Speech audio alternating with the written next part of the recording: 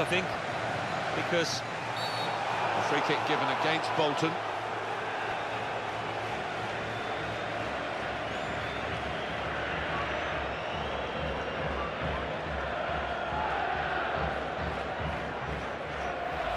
Rash, Alan, reckless. well, it is. He saw the ball and he thought he could win it, but just as fraction off.